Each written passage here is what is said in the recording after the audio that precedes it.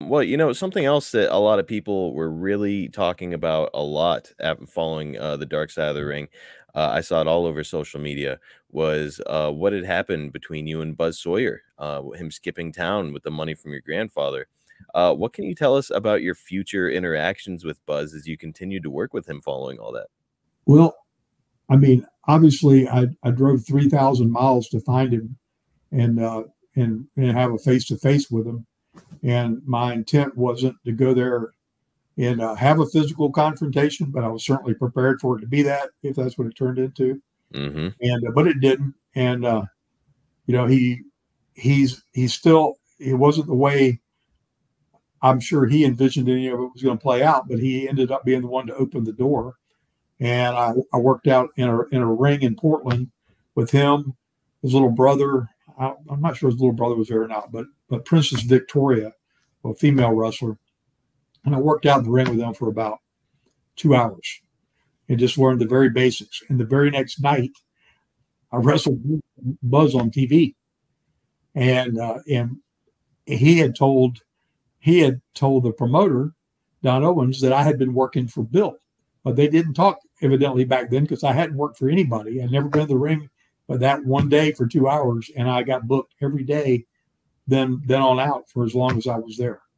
So, you know, he kinda started off on the wrong foot and certainly, uh, did not do the right thing right out of the gate, but really, it's without Buzz Sawyer, uh, who knows where your career could have ended up. Oh, absolutely. And and I knew that it was I knew I had to go learn the ropes. I didn't want to I didn't want to start out in what was then mid-Atlantic and and just be, you know, somebody aspiring climbing the ladder. When I came home, I wanted to be I wanted to have achieved the main event status uh, in, in the industry. So my my thought process from the get-go was to go somewhere and and learn the trade and learn the craft, but I didn't have any idea I'd drive all the way coast to coast to, to do it. Man, that's that's what they call passion. I don't know a lot of people willing to do that.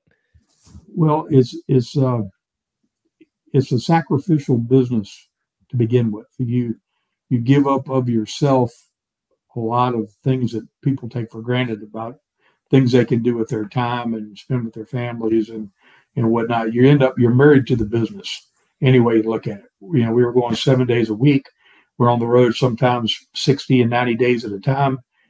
And uh, it it was uh, it was it, it was a situation where you you grew to dis, despise the travel, but you loved the performance part of it so much and enjoyed that time in the ring and being able to to uh, you know be awarded or and rewarded by the the fans there them reciprocating enjoying what you did.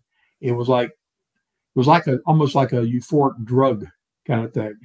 If you stand in the middle of a ring and 10 20,000 people out there screaming so loud you can't even hear anything it, it turns silent it's so loud that uh, there's nothing I've ever been able to do in my life that's replicated what that experience was like.